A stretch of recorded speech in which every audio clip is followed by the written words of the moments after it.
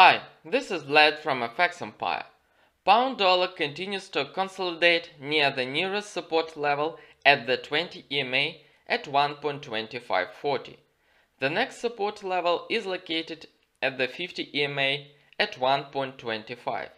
In case pound dollar settles below the 50 EMA, it will gain downside momentum and head towards the next material support level at 1.2350.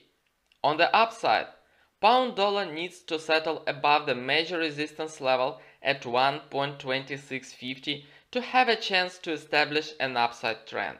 If this happens, pound dollar will head towards the next resistance level at 1.2750. Have a nice day and good luck.